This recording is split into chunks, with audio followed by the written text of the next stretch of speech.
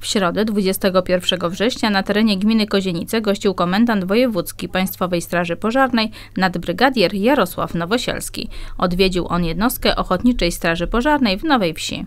Przyjechałem do jednostki Ochotniczej Straży Pożarnej e, w Nowej Wsi, żeby podziękować druhom Ochotniczych Straży Pożarnych za ich y, społeczną pracę.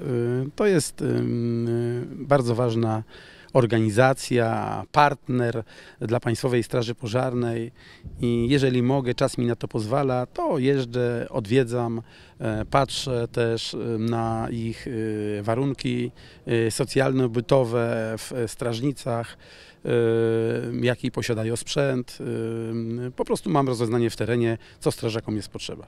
Komendant zapoznał się z wyposażeniem i funkcjonowaniem jednostki. O jej historii opowiedział mu sekretarz OSP Nowa Wieś i jednocześnie wiceprezes oddziału powiatowego Związku Ochotniczych Straży Pożarnych w Kozienicach Mieczysław Jelonkiewicz. Zarówno e, siedziba tej jednostki jest nowy, piękny budynek, e, elegancki, e, samochód, sprzęt, naprawdę no, godne do mm, ponaśladowania innych jednostek.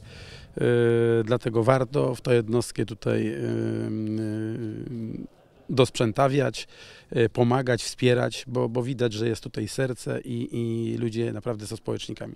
Podczas spotkania komendant przekazał też listy gratulacyjne dla prezesa OSP w Nowej Wsi Marka Pyrki oraz druhów Mateusza Zielonego i Sebastiana Kozdryka, a także dla pań z koła gospodyń wiejskich Babeczki z pieprzem i solą.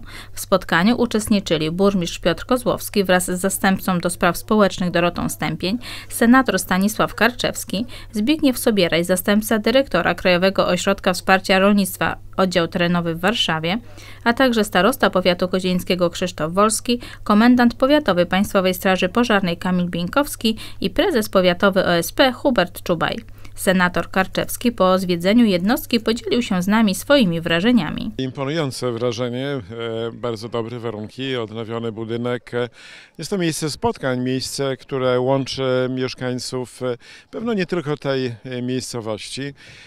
Bardzo cieszy mnie, że Ochotnicze Straże Pożarne rozwijają się, kwitną można powiedzieć.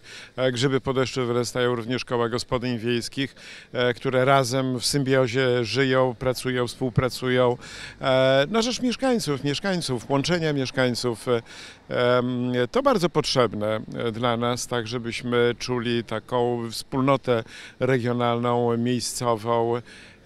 Mnie się to bardzo podoba. Podczas spotkania w Nowej Wsi komendant Nowosielski podkreślił też dobrą współpracę z senatorem Karczewskim. Bardzo często e, spotykamy się. Jestem takim przekaźnikiem e, tych potrzeb, które mają tutaj mm, e, druhowie. E, I ta współpraca z panem generałem układa nam się bardzo dobrze. Jednostka Ochotniczej Straży Pożarnej w Nowej Wsi działa od 1914 roku. Aktualnie liczy 55 druhów, z czego 49 to członkowie czynni, głównie młodzi, bardzo dobrze wyszkoleni druhowie i druhny, którzy z pełnym zaangażowaniem gotowi są nieść pomoc potrzebującym.